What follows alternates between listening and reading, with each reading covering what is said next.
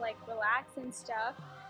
And also, it's not like you have to perfectly do all the poses. You can start by doing how much you can, and then slowly, it you can do it better until you can do the pose all the way. So it would help with your flexibility and stuff.